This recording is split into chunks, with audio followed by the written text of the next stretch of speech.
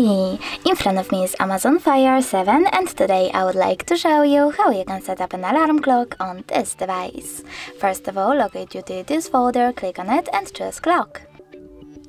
After that, you need to select Alarm at the top left corner and choose this plus icon.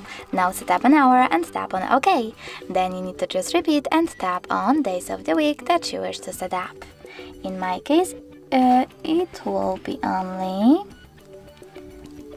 Monday.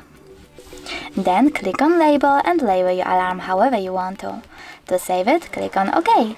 Now just default over here and tap on one of those alarms to set up the best one for you. You can also just add new and pick music from your device. I don't have any so I have to go back and save my alarm by clicking over here.